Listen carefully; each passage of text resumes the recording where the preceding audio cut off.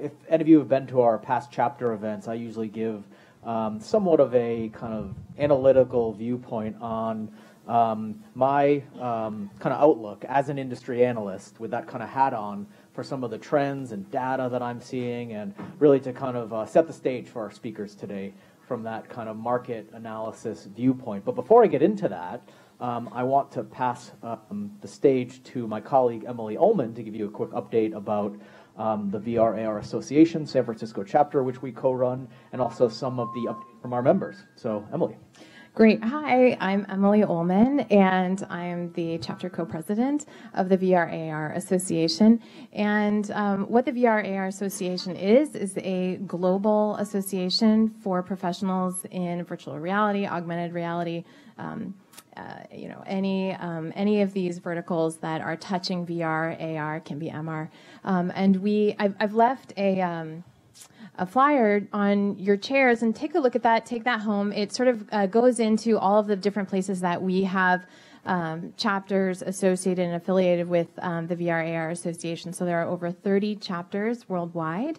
And um, our motto is growth, knowledge, and connections. And so what we have is research, um, networks, events, and all of our events are actually free to our members. Um, and so um, I just wanted to give a little bit of a quick update on our members. So we have almost 250 members, member companies worldwide. And um, this is the update since January. We've actually had 132 new members join since January. So it's um, exponential growth um, in the association. We're really excited about that. And also 17 new members in the San Francisco chapter alone. And that includes student members, um, corporate members. Um, we have um, all different levels of membership. And so I just want to give a little bit of shout out and uh, welcome to some of those new members. And uh, it, is anybody here right now? Right now, that's a new member. That yes, great, welcome. Hi, it's Emmanuel in the back, and the Destiny. Yeah, hi everybody. And was there, was there another hand? Um, okay, hi. Hi. Um, so, um, yeah, absolutely. So, the new members um, that have joined uh, since January include um, uh, Constructive Labs. Um, Constructive Labs believe that everyone should be empowered to create virtual reality experiences, um, and their uh, virtual reality operating system allows rich and engaging VR spaces.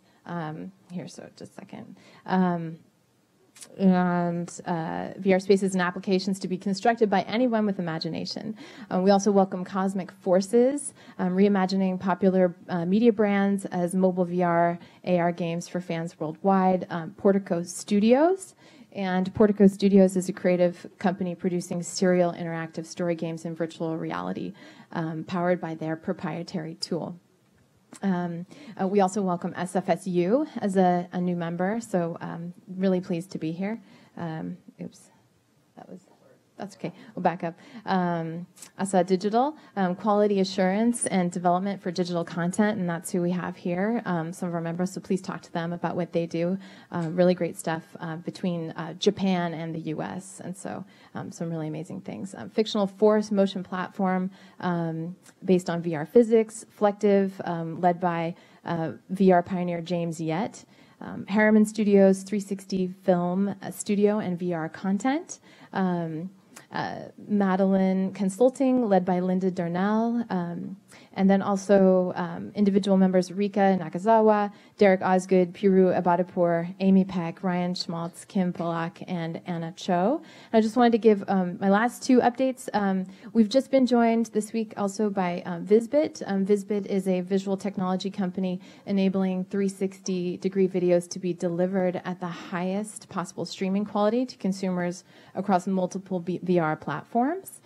And also, Yerba Buena VR, VR has an update. They um, exhibited for the first time at NAB and debuted their tech preview, um, which had positive and enthusiastic reception from broadcasters and content creators alike.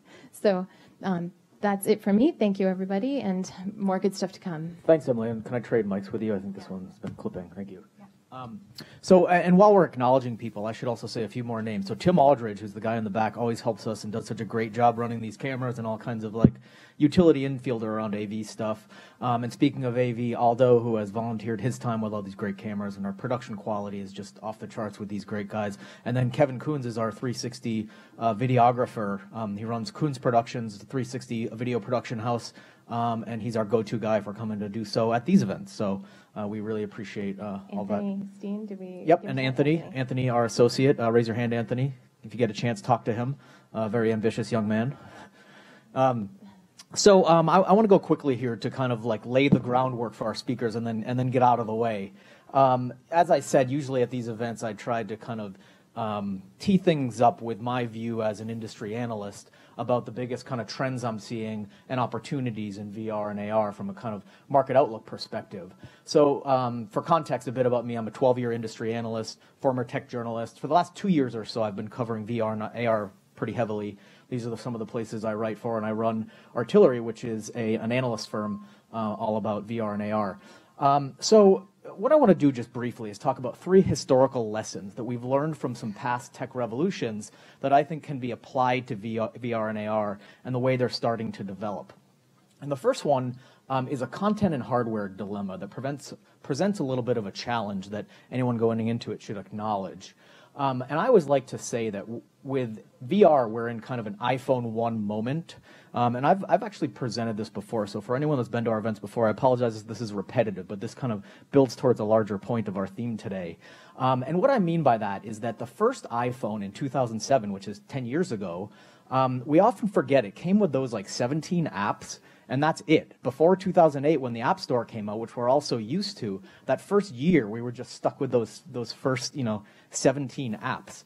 Um, and you know it was it wasn't until 2008 the App Store came out. Then we saw this like blossoming of content and creativity from that third party developer ecosystem that came around to really you know, for the subsequent 10 years and up till today, bring us everything from, you know, Uber to Pokemon Go to Waze and all of these different kind of creative use cases that built upon that initial hardware, but that we didn't really think of when that first came out.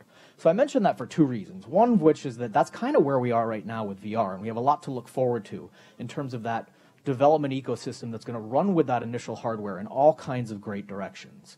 Now, the second reason I bring it up is isn't as optimistic, and it's kind of a, a sobering reality check that until we get to that point, we're in this kind of content-starved status at this point.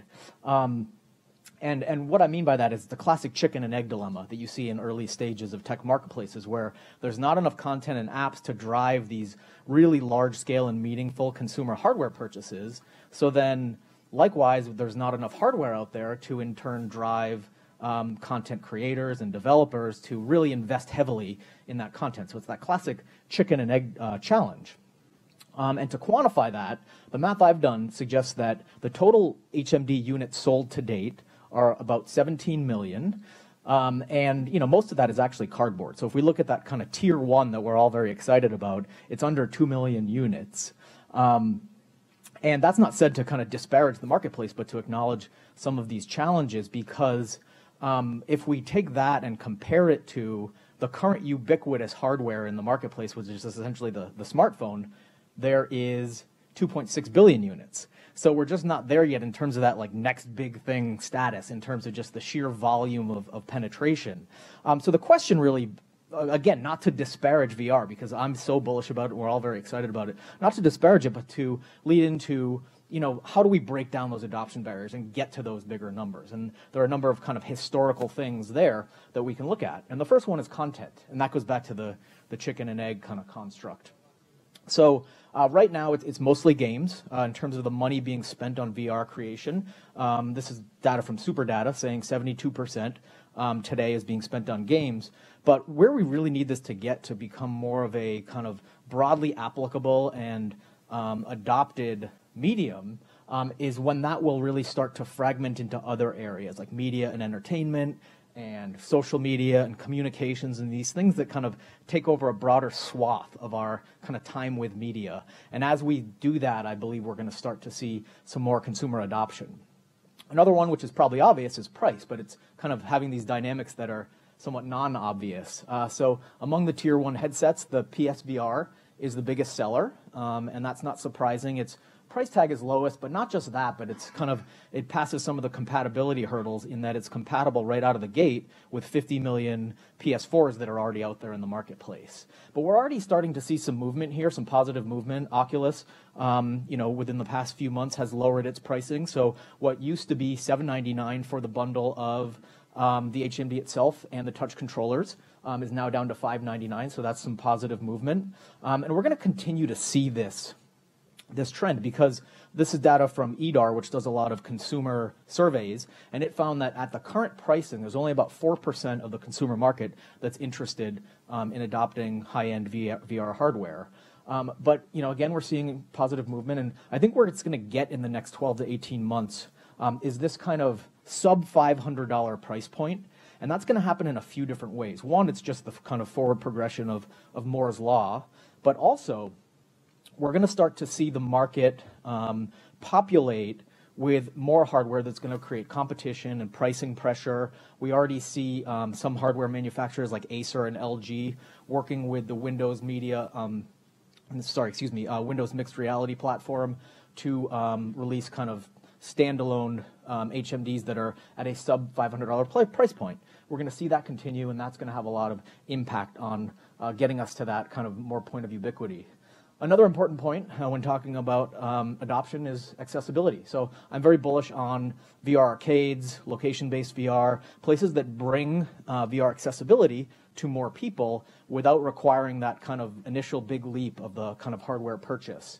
Um, and another kind of historical parallel there is that um, this is very similar to in the late 70s and 80s, where you know before home video game console ownership, was affordable and tenable, uh, we saw the prevalence of arcades. So it's following that same historical path. Um, so for the next few years, in terms of scalability, we believe that um, VR arcades and location-based VR are going to have a big kind of market opportunity.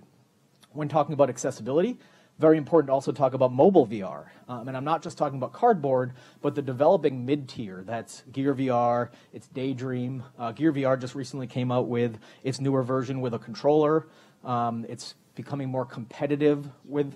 Oh yeah, yep. Well, uh, that's that's the Gear 360 recording device, right? Yeah, which is you know they're they're coupled together in lots of ways. But Gear VR, in terms of the consumer um, HMD, um, is is really getting better. You're starting to see competition between these two players that's driving everything forward, driving the price down. I'm very bullish on Daydream as well because Google's putting a lot of muscle behind it. Google really wants to be kind of at the front door of this next big medium. And the historical parallel there, again, that's, that's the theme here, is looking at these historical lessons, is that it did that same exact thing 10 years ago with Android in terms of putting a lot of muscle behind a platform to be at that front door.